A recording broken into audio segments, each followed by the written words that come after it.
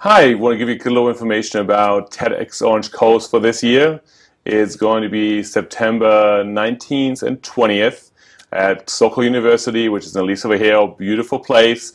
Um, this is the fourth round of TEDx Orange Coast. Great event. Last year we had over 2,000 people over the two days. Um, it's just inspirational. If you're not involved, basically go to TED.com or TEDxOrangeCoast.com and check out some videos. But great event, get involved. It's absolutely worth it.